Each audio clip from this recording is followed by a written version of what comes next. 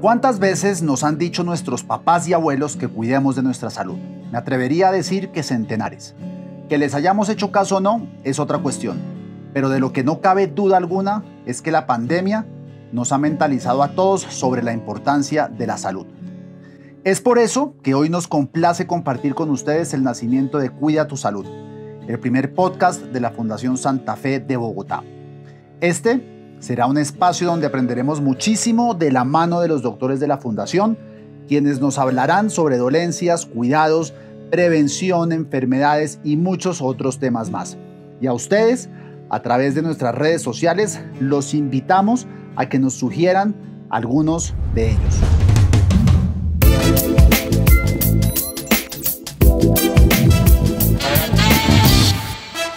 Este primer episodio nos acompañará el doctor Henry Gallardo, director de la Fundación desde 2011 y quien carga sobre su espalda la enorme responsabilidad de liderar a esta institución en uno de los momentos más difíciles para la humanidad en los últimos 100 años.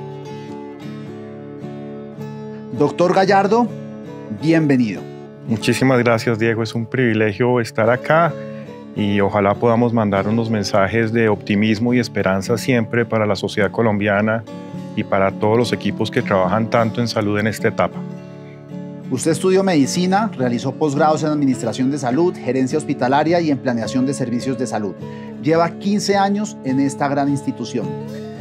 Ahora, en estos momentos, ¿en qué consiste su trabajo? Mi trabajo en la fundación básicamente tiene que ver con servir, creo que es la vocación que más me mueve a mí en la vida, y es atender necesidades de la gente, poder acompañar su recuperación en salud y, y tratar de que la sociedad como un todo tenga mejores desenlaces para que el desarrollo mismo del país se haga de manera dinámica y contundente. Salud es muy importante para eso y creo firmemente que eso es lo que tenemos que hacer las personas que estamos en el sector. En los últimos 15 años, los cambios en la humanidad han sido vertiginosos. ¿Qué tanto ha cambiado la Fundación en este marco de tiempo? La Fundación ha hecho un trabajo muy fuerte en evolución de su, estrategia, siempre respetando la historia. Es muy lindo porque lo que ha sucedido en la evolución de esta organización, que, es sin ánimo de lucro, es ir construyendo sobre lo construido. Y eso es magnífico en una organización, eso es algo eh, de, de mostrar. Eh, en, en estos 15 años, en la etapa que yo he vivido, pues básicamente lo que hemos es generado una estrategia que hemos llamado de generación de valor superior. Lo que queremos es cumplir con ese propósito de influir e impactar positivamente en la salud desde la perspectiva integral de individuos y comunidades. Y esa estrategia de valor nos habilita para entregar mejores desenlaces clínicos, para cambiar y mejorar sistemáticamente la experiencia de pacientes y familias en un marco siempre de eficiencia. Y posiblemente ese ha sido de las evoluciones más grandes.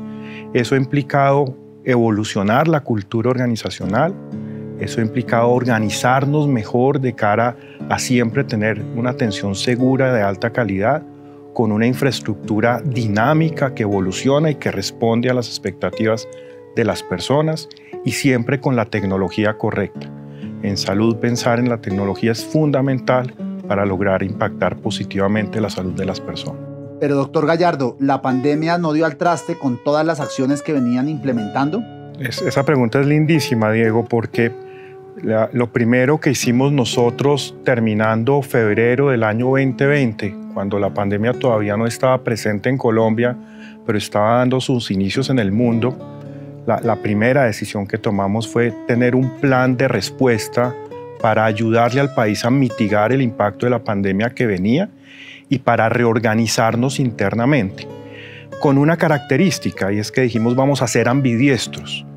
No vamos a abandonar nuestros planes estratégicos y lo que venimos haciendo, y mucho menos vamos a abandonar a los pacientes que van a requerir atención en sus condiciones usuales.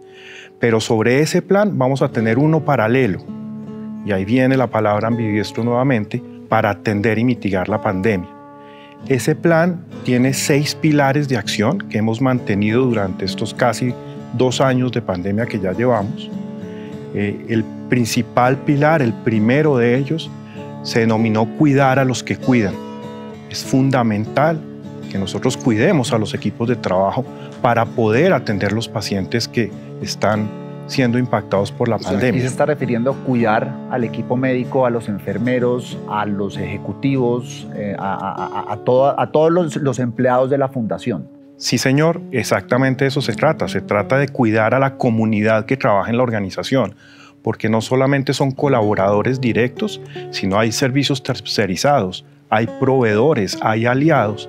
Y lo que dijimos es, hay que cuidar a ese grupo para poder responderle a la sociedad si se nos enferma o se afecta este grupo humano, pues va a ser muy difícil que nosotros respondamos de manera adecuada a los retos que implica la pandemia y los retos usuales de nuestra estrategia. Esto sale a raíz del COVID, no lo tenían, o sea, o lo tenían pensado y el COVID lo aceleró. Lo que sucedió es que nosotros teníamos una estrategia de bienestar muy buena. Yo me siento muy orgulloso de lo que teníamos antes de la pandemia, pero claramente la pandemia trae unos nuevos riesgos y unas nuevas situaciones y unas nuevas realidades que implica que uno tenga que esforzarse muchísimo más por su grupo humano.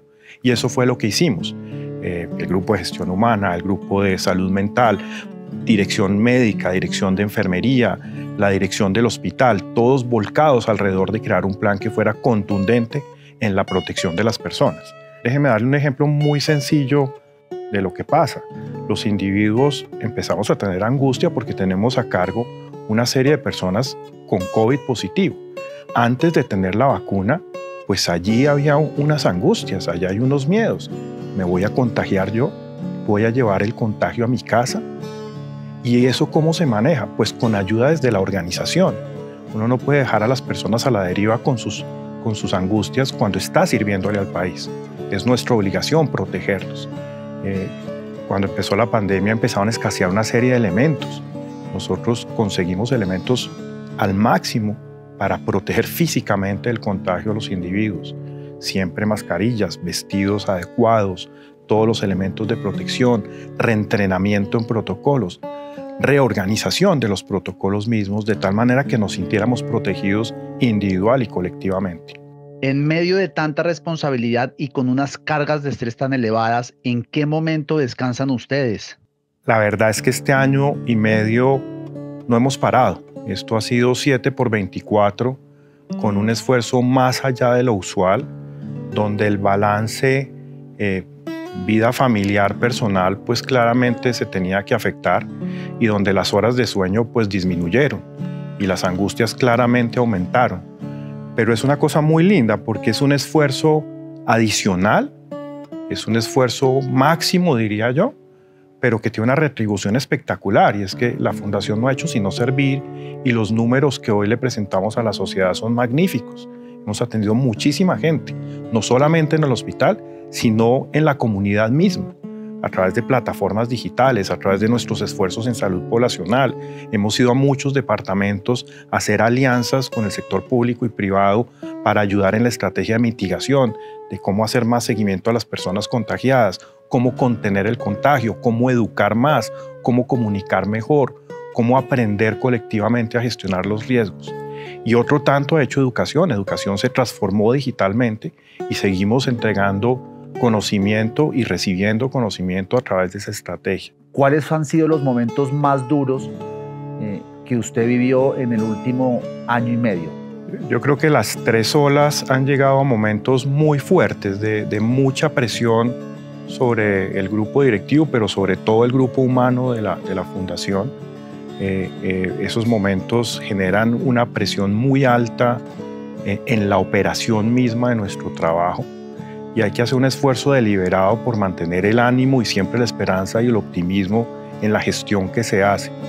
Eh, nos angustia mucho lo que pasa en el país en general. Finalmente la Fundación ha logrado navegar bastante bien este proceso, que ha sido muy duro, pero, pero el, el país preocupa porque esto no ha parado y tenemos que hacer una gestión todavía más fuerte, colectiva y solidaria para asegurar que al país le va mejor que, mitigamos la pandemia, que no nos afectamos en lo social y en lo económico, que las personas vuelven rápidamente a hacer lo que les gusta.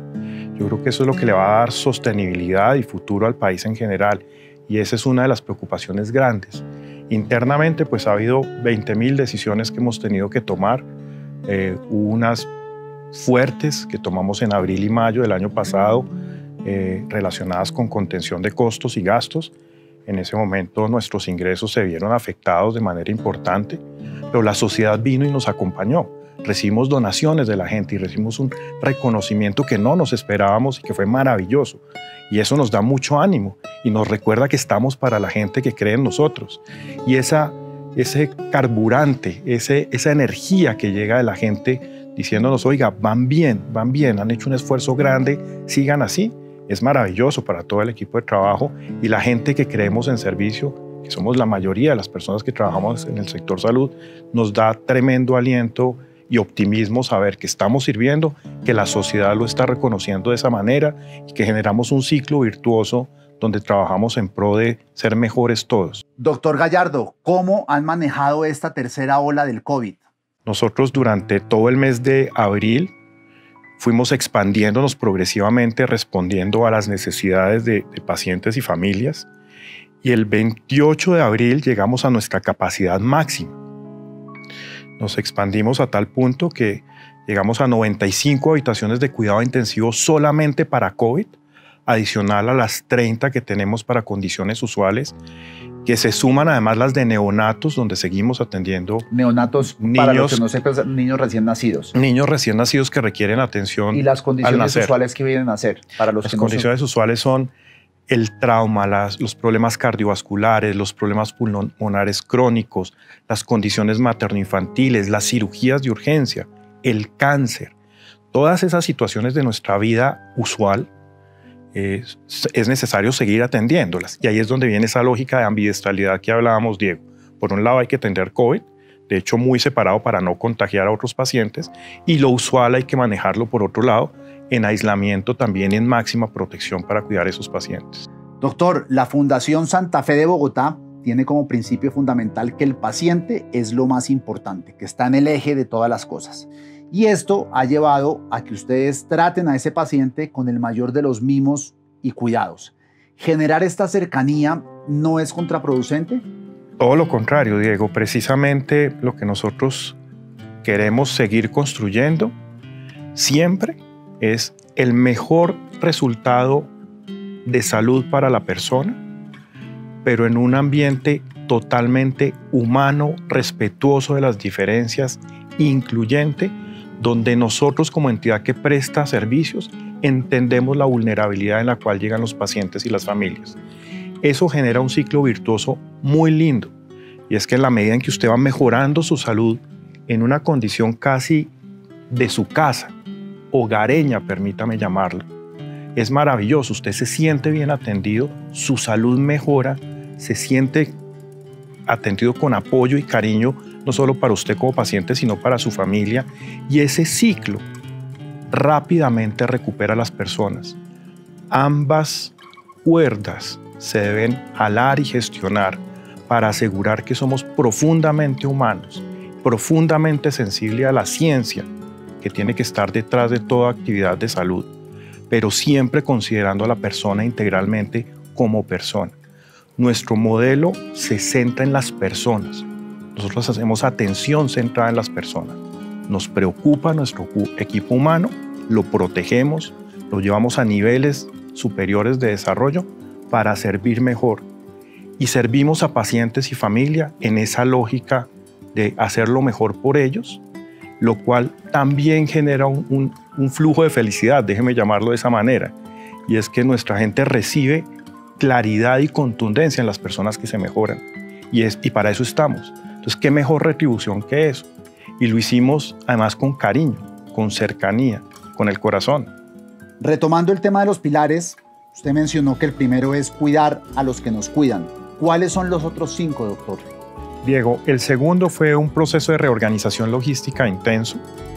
Eh, los inventarios, los elementos de protección, los medicamentos, los insumos, la tecnología que se requería era adicional y diferente y eso tocaba reorganizarlo y asegurar que teníamos los elementos disponibles para poder atender volúmenes de pacientes además mayores. Eso se hizo. El tercer pilar fue expandirnos nuevamente de forma ambidiestra, donde la fundación pues creció en unidades de cuidado intensivo de manera intensa. crecimos en espacios de hospitalización con aislamiento para los pacientes que no requerían cuidado intensivo, pero sí un nivel de hospitalización ante una enfermedad moderada respiratoria y crecimos el servicio de urgencias. Para hacer esos crecimientos, pues invitamos a la fundación a más personas a trabajar y aumentamos lo que llaman coloquialmente la nómina. Eso implicó tener más de 350 personas adicionales en diferentes áreas del proceso de atención, especialmente en enfermería y terapias. Lo, lo, que hicimos también en esa expansión fue no solamente crecer el hospital, teníamos que crecer la capacidad de atender a distancia a los pacientes. Por lo tanto, nuestras herramientas de cuidado domiciliario, de telesalud, doctor chat, líneas telefónicas, más plataformas digitales que servían para educación y mejor entendimiento de la pandemia se pusieron a servicio del país. Esas plataformas digitales que no cunda el pánico y otras que están bien conocidas ya en la comunidad han tenido más de 300 mil visitas. Eso muestra el impacto que logra una entidad que busca no solamente atender en servicios hospitalarios, sino que está volcada a la prevención, a la promoción y a la protección de la salud de forma anticipada.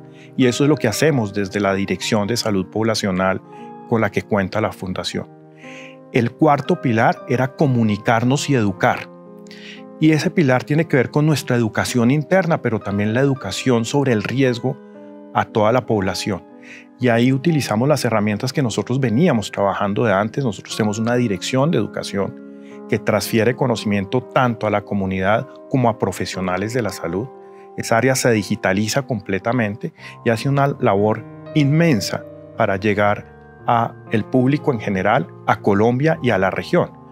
Eh, esa área va a cerrar este año con 180 eventos y más de 55 mil asistentes a esos eventos. Que esto es lo que llamamos foros, seminarios, simposios, todos realizados por cuenta del COVID de manera virtual pero se espera que vuelvan a retomar esa parte de educación de manera presencial eventualmente.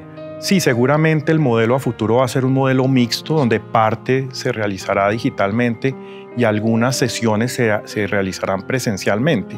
Y los eventos van a dejar de ser cosas puntuales y más un proceso realmente continuo de educación. Perdón por interrumpirlo, pero cuando hablaba usted de expansión hace unos minutos, ¿se refería también a una expansión física de la fundación?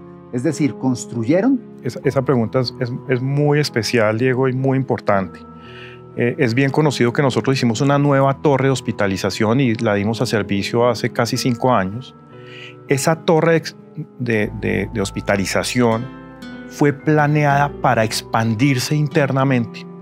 Cada espacio se le pensó un segundo y un tercer uso. Y siempre los hospitales pensamos en los riesgos y en las emergencias que se pueden presentar. Es nuestra obligación pensar de esa manera. Entonces nosotros dejamos dispuestos espacios con toda la logística detrás y con todas las necesidades de oxígeno, equipos, etcétera, para poder multiplicar eh, la capacidad de servir. Por esa razón nosotros pudimos llegar a los números que le he mencionado previamente en unidades de cuidado intensivo y en hospitalización y aislamiento, porque fue planeado y pensado de esa manera. Eh, eso nos facilitó muchísimo ese plan de expansión y esa capacidad adicional que hemos puesto a servicio de la sociedad. Nos quedan dos pilares, nos quedan dos, quinto y sexto. Exactamente, me vuelvo a, a los pilares. El quinto pilar lo llamamos sostenibilidad hoy y mañana los hospitales empezamos a entrar en riesgo financiero porque disminuyeron nuestros ingresos dramáticamente y necesitamos hacer todas las inversiones y aumentar nuestros costos y gastos para atender y mitigar la pandemia y nuevamente atender las condiciones usuales también. Esa disminución de ingresos, doctor, es consecuencia de mucha gente que estaba enferma por distintos motivos y dejó de asistir a sus consultas médicas y, al hospital por miedo a contagiarse del COVID o hay otras razones para esa disminución de ingresos? La razón fundamental, Diego, y es un tema que, que el país va a tener que seguir manejando a futuro, es que a la gente le dio mucho miedo hubo muchas comunicaciones diciendo que además los hospitales eran sitios peligrosos, que eso estaba lleno de COVID. Y la realidad es que los hospitales somos profundamente seguros. Estamos diseñados para eso. Venimos atendiendo infecciones de siempre y por lo tanto separamos las condiciones infecciosas de otras condiciones. en ese miedo las personas dejaron de cuidar su salud como debían cuidarla.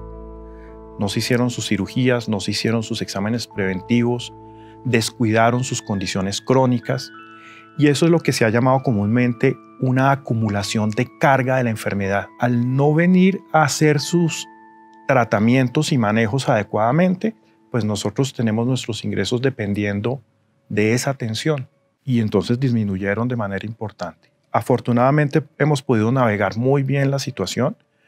Eh, en el caso de la fundación, hay otros colegas nuestros que, han sufrido mucho y hemos tratado de ser solidarios con ellos también, pero, pero ese hoy lo hemos asegurado eh, con delicadeza, con disciplina, con el apoyo de las 4.000 personas que trabajan acá, sin afectar a nadie en lo personal, eh, pero sí haciendo ajustes en nuestros costos para asegurar esa sostenibilidad. Y también con el apoyo de la sociedad a través de las donaciones que usted estaba mencionando, ¿o no?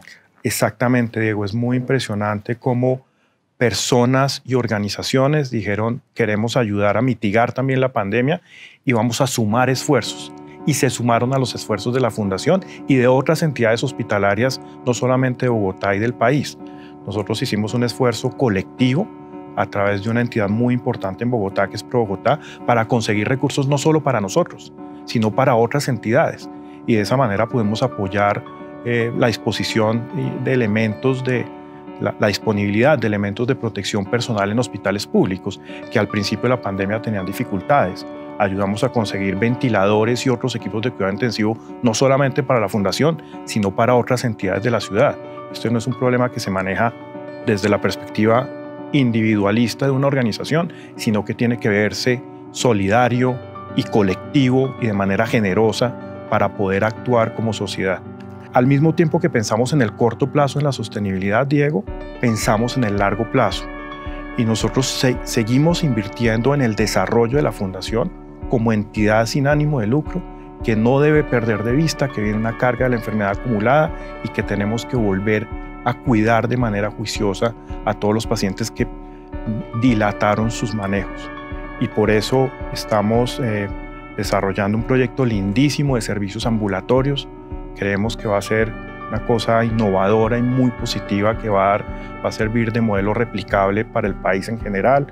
Para personas como yo, que no maneja este mundo y que la terminología, yo sé que no es tan difícil, pero servicio ambulatorio, ¿qué significa exactamente? Esa palabra es rara, tiene toda la razón, Diego.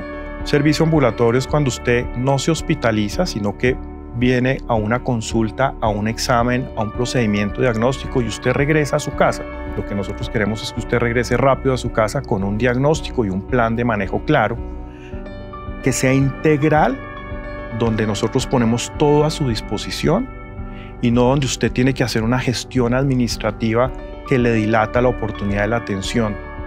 Es parte de lo que nosotros hemos llamado volcarnos a líneas de servicio o condiciones clínicas. Doctor Gallardo, ¿qué clase de pacientes atienden en la Fundación Santa Fe de Bogotá?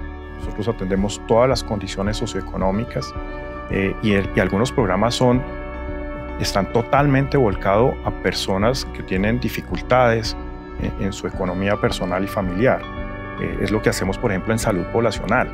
Es, es, el impacto es lindísimo además allí pero dentro del hospital también tenemos régimen subsidiado, atendemos régimen contributivo, atendemos planes adicionales de salud, todas las gamas de planes.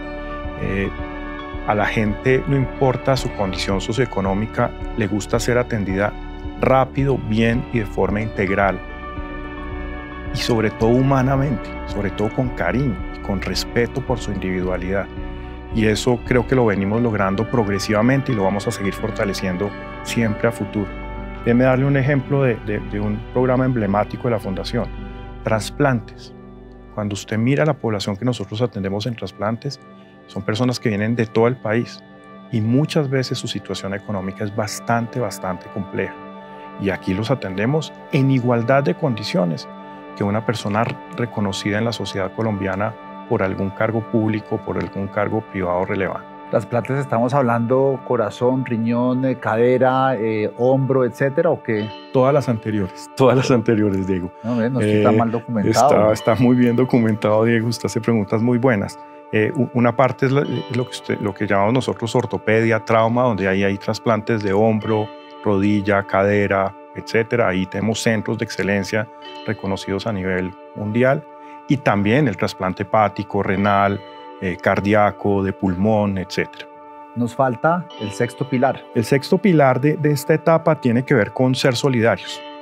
Una entidad que se debe a la sociedad como la Fundación Santa Fe Bogotá tenía que trabajar de manera colaborativa con los hospitales colegas, con los gremios de la salud, con los aliados regionales, tenemos varios aliados en América Latina y otros en Estados Unidos y en Europa, también con el gobierno local y con el gobierno nacional, de tal manera que en equipo encontráramos soluciones superiores a las que pueden encontrar las, organizaciones individualmente y para compartir y transferir conocimiento rápido.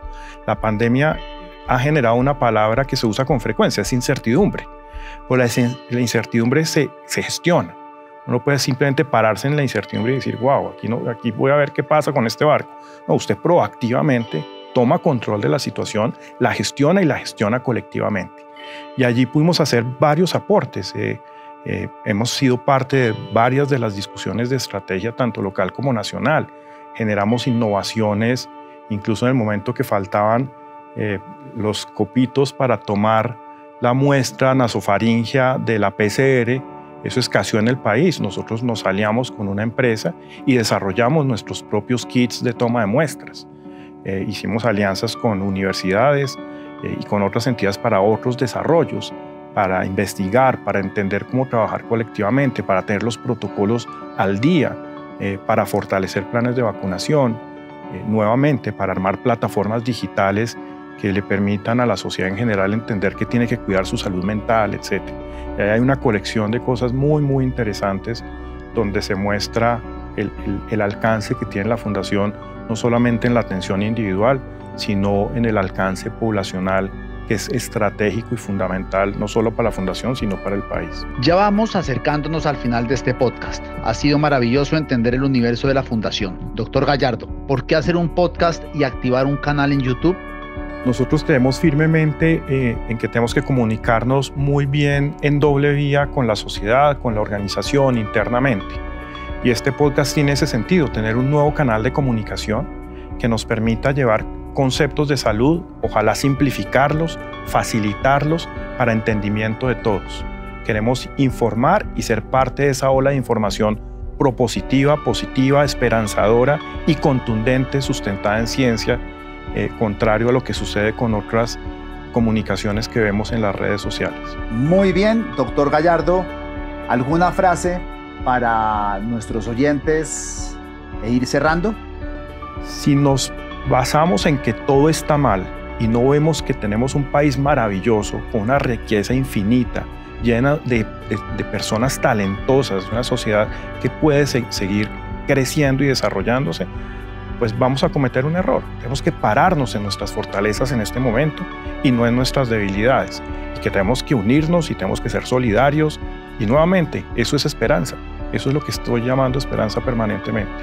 Pues nada, doctor, ha sido un placer compartir esta media hora pasada con usted. Ese mensaje de esperanza es muy importante y como usted bien señala, no dejemos de cuidarnos y no solo por el COVID, sino por nuestra salud en general.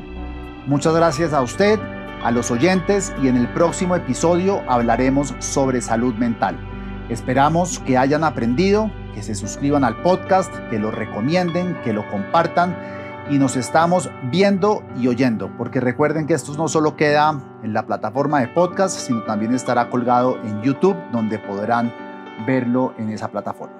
Soy Diego Santos, saludos y nuevamente mil gracias. Hasta la próxima.